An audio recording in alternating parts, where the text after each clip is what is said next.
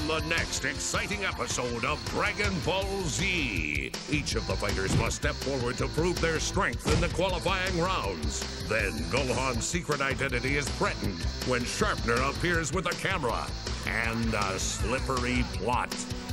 And yeah, Vegeta, I think you passed the test. See it all next time on Dragon Ball Z.